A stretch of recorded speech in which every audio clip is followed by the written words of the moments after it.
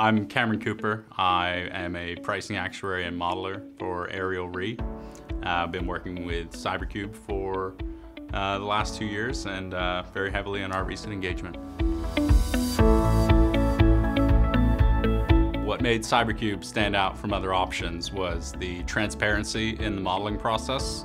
We, we really liked that we could see from A to Z how you get from inputs to outputs and apply our own modifications to that to arrive at our own view of risk.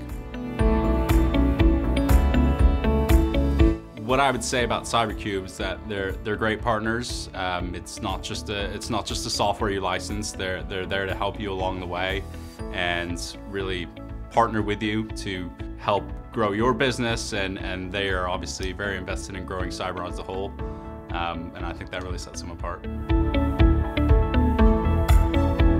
I think the use of, of CyberCube is going to allow us to uh, grow confidently in the space uh, with a trusted partner that we can present to, to our stakeholders, internal and external. Um, CyberCube has become a standard in the reinsurance market. All of our brokers use it. So it's, it's really a, a great vehicle for us to grow in the cyberspace.